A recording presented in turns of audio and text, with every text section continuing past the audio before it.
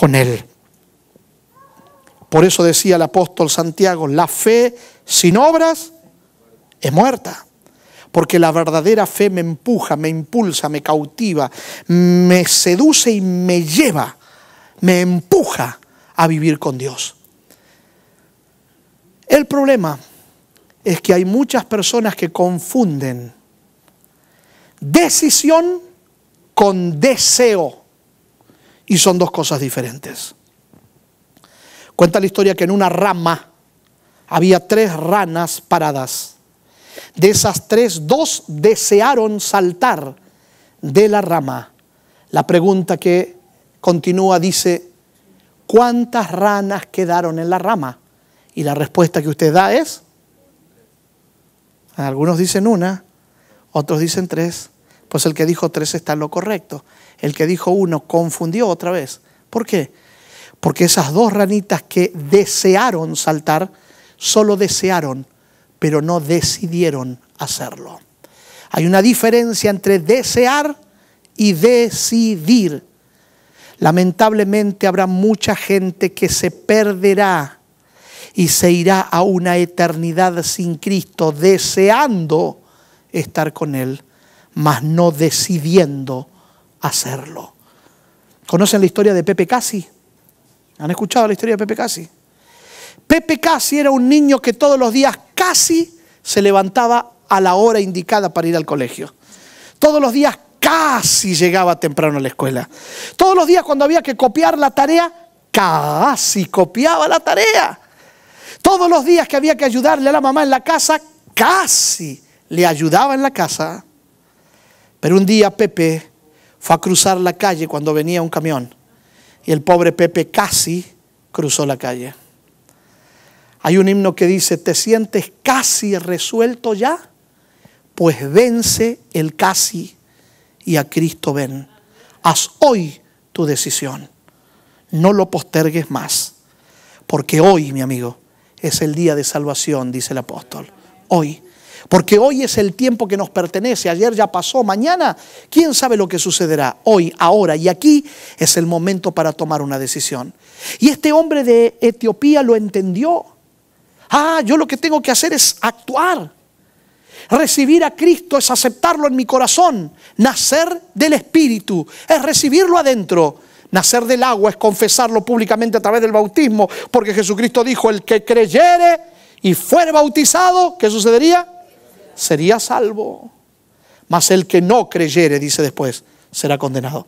Alguna vez me pregunté, ¿por qué dice Jesús el que creyere y fuere bautizado y después solamente dice más el que no creyere? ¿Por qué no dice el que no cree y no es bautizado? Y entonces un día entendí, es lógico, el que no cree no se bautiza. Así que no es necesario remarcarlo. Pero entonces la pregunta más importante que quizás nos tengamos que hacer nosotros hoy sea, ¿y el que cree? ¿Qué hace el que cree? Porque cuando este hombre dijo, aquí hay agua que impide que yo sea bautizado, Felipe dijo, si crees, bien puedes. Y el hombre dijo, creo que Jesucristo es el Cristo, el Mesías redentor, que es todo lo que necesito para ser feliz en esta vida. Y entonces mandaron a parar el carro, la camioneta, el camión, el autobús, no sé en qué iban ellos, el camellobús, y bajaron al agua los dos. Y entonces Felipe lo bautizó. Después que Felipe lo bautizó, se fue. Este hombre no lo vio más, dice la Biblia.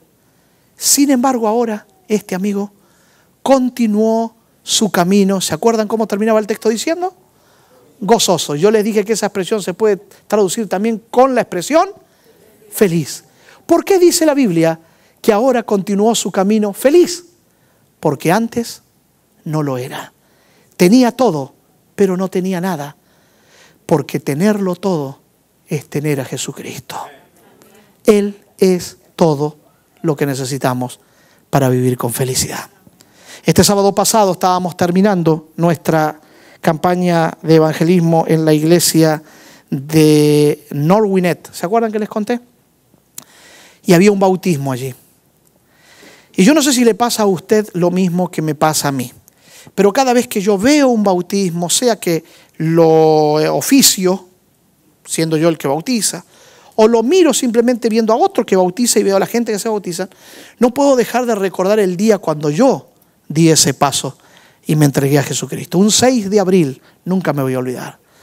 Me entregué a Jesucristo hace ya más de eh, años atrás. Como ustedes van a sacar cuenta y todo, van a decir, uh, el pastor es de la prehistoria. 47 años, 47, 48, ¿tengo cuántos tengo? 47.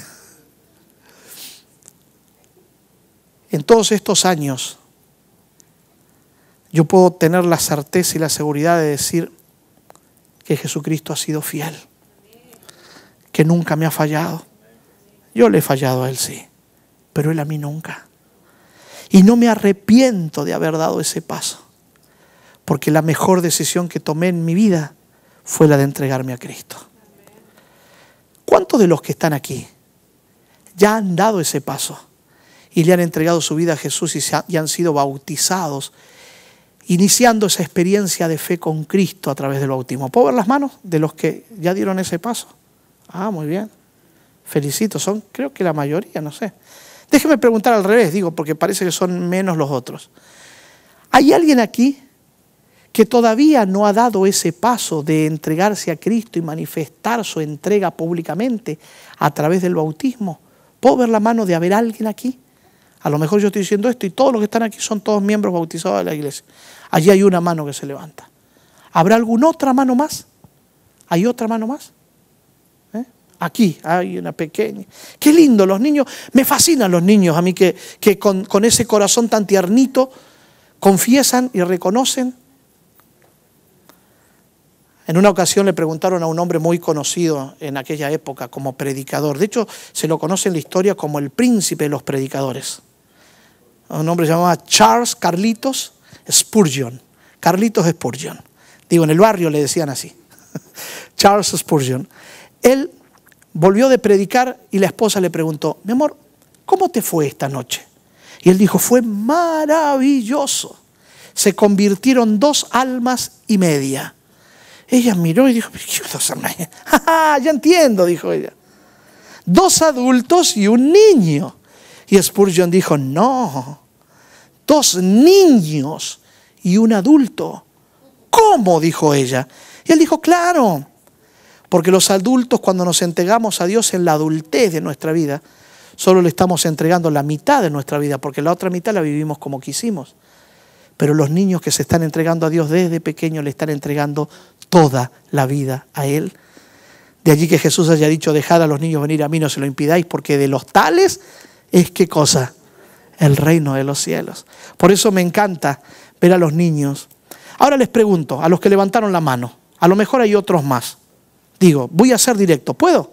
¿Me permites, amigo? ¿Sí? Le te hago una pregunta a ti y a la niña aquí. Y de haber alguien más entre los presentes que no se atrevió a levantar la mano, también le cabe la pregunta. ¿No les gustaría algún día dar ese paso que dio Felipe para completar vuestras vidas y ser totalmente felices, entregados en las manos de Jesús? ¿Te gustaría algún día dar ese paso y ser bautizado también? ¿Eh? ¿Qué me dices? ¿Sí? ¿Y a ti? ¿Sí? ¿Te gustaría? Y extiendo la pregunta a otros que pueden estar aquí. ¿Te gustaría algún día dar ese paso si no lo has dado todavía? ¿Te gustaría darle una oportunidad a Jesucristo? ¿Saben una cosa? Si ustedes dicen que sí, es porque en algún momento sintieron ese deseo.